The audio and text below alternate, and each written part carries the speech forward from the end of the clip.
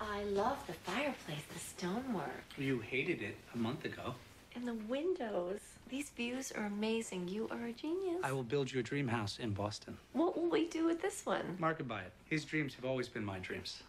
Mm-hmm. Harvard is offering me a $10 million endowment. They're setting me up with an entire research team. I'm going to cure Alzheimer's, Meredith. That's my dream. Not this house.